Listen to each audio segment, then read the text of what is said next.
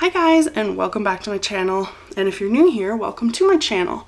So today is going to be a life update video just because a lot has been going on in my life. So let's just dive right in. So there's a couple new things that are going on. One, I am not nannying anymore. Um, I was let go was my well, I received my notice on the 22nd of July. I was let go the 9th of August, which was a Friday, which was my last day at work. Um, and I don't hold anything against that or anything, but I just wish they would have told me before I went on my vacation just because then it was like I took two weeks off. And if I wouldn't have taken the time off, I would have saved that money and would have known, you know what I mean? If that makes sense. Um, but I mean, I loved the experience. I loved working with the kids, and it was, it was something that I'll never forget. And I mean, I can still go see the kids. Like their parents have been pretty good about that. They're like, yeah, we you can come see the kids. You can take them to the park, things like that. So it's not like I'm never gonna see them again. Um, so when I was let go, I was torn between the option of um, nannying again for a different family or let's fix that. There we go. Um, or not nannying anymore and finding something different just because of when I found out that I was not going to have a job anymore, my whole emotional stability thing went down. I spent the night of the 22nd crying. I did not sleep. I did not know what I was going to do. Um, so I spent the whole night of the 22nd basically trying to figure out what I was going to do. So I applied at a bunch of different places and I was actually able to get a job at Superstore, which is a local grocery store. And so I'll be a cashier there. And then I also made the decision to apply for school again. So I was accepted um, at UNBC, and so I'll be returning there in January. So now with Superstore, I'll be able to work and still go to school at the same time, so I don't have to worry about the whole money situation, which was obviously something that is concerning just because school is so expensive. Um, so to elaborate more on school, I am going back to school in January. I was accepted as a returning student at UNBC um, because I did go there. 2015 was my last semester. Would have been April 2015. That was my last um, time there. Now, I've been thinking about school for quite a long time just because it was something that I'd always felt like I didn't finish, I didn't accomplish anything. Like I went to school, I never I've never graduated from a second like a um, secondary education institute anywhere. Like even through CNC, like the college, I never graduated. Um, and UNBC, I never graduated. So I felt like there was this um, disconnect. Like I didn't know what it felt like to actually accomplish that. So I had been thinking about it for a while and I was actually going to go back to school next September, so September 2020. And I was going to go and get my degree. And then when all this happened, I'm like, you know what? I'm not waiting for another year if I'm working at Superstore. Like, I want to be able to accomplish, and if this way, I can hopefully graduate by 2025 or 2026, I figure. So what I'll be going back for is I'm going to get my major in history because that is something that I absolutely love. And then I'm getting a minor in archaeological anthropology, which is a mouthful. So basically, I want to be an archaeologist. I have recently found um, books, YouTube channels, um, YouTube videos, things like that that have opened my eyes into what archaeology actually is. Like, I had no understanding of what it actually was sorry, there's something on the lens. Um, so when I was able to find all this stuff out, I'm like, geez, this is exactly what I want to do. This is exactly what I want to accomplish in my life. So I'm doing that and I go see a um, advisor on the 14th of August. So this is filmed way in advance of when it's actually going up. But on the 14th of August, I'm going to see an advisor and then I get to um, register for all my courses.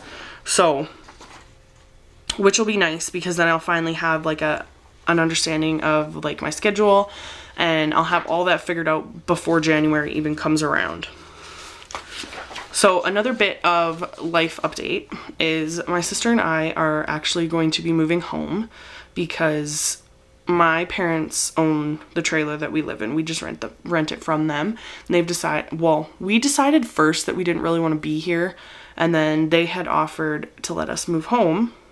And we thought about it and we're like, yeah, let's let's actually do it. So my parents are going to sell the place and then we'll move home and just have that be at home and then it'll be a lot easier for me too now that I'm going to be going back to school. So it saves me a little bit of money um to be at home and not have to worry about anything, which is nice. And then we'll be at home too so we can help our parents out. Like my mom can't shovel the deck in the wintertime. It it hurts her. So it's easier that we're home we can help her with that.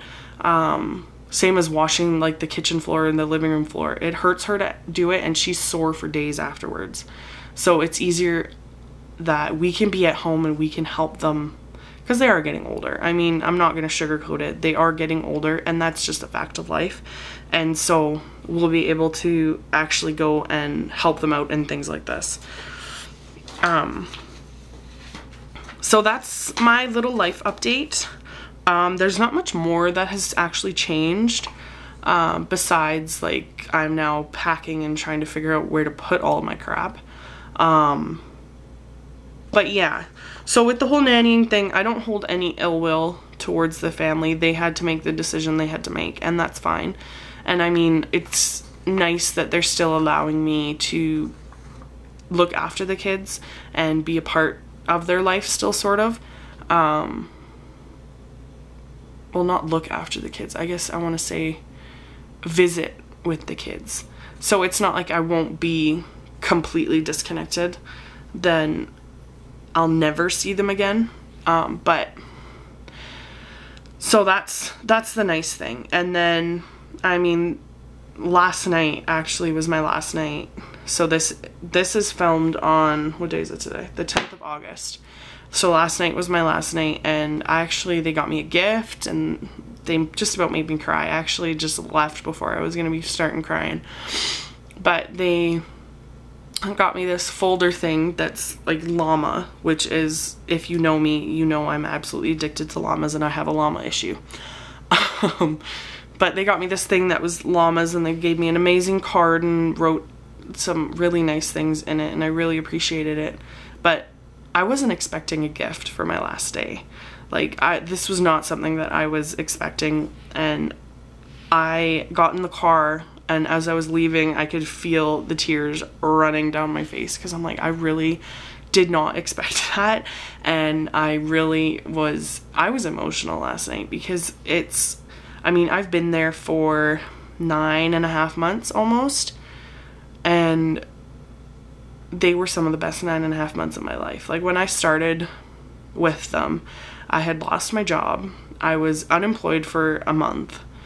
And it was like my whole depression anxiety thing was down the tubes. Like I was in a pit that I had dug a hole for myself and I had gone in there and I could not get out.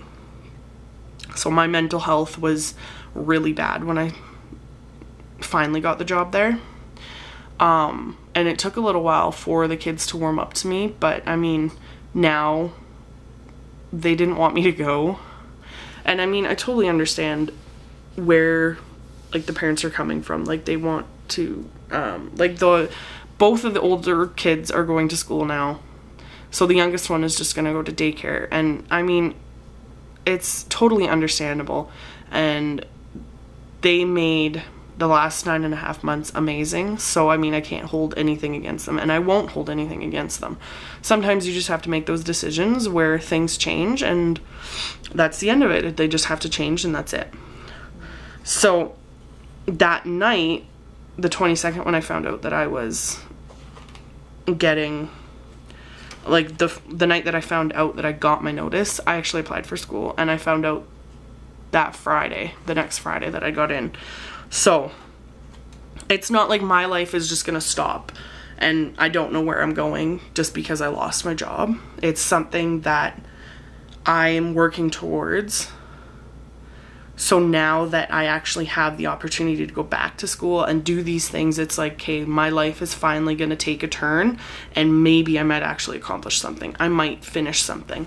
So it was it was nice in that regard just because I knew that I wanted to go back to school. I just didn't know when. Which I well, I mean, I sort of knew because I I did want to go back in September of 2020, but I mean, that's a little over a year away. So now it's it's getting a little more real, I think, now that I'm going in January. well, that's my life update. So if there's anything else that I there that you want me to cover, um, regardless of if it's life update or if it's something you want me to cover for school or for how my nannying was. Um, I'm still kind of thinking about what I want to do in that regard, but I'll eventually figure it out. So, thank you guys for watching, and please remember to subscribe, and I will see you guys next time. Bye.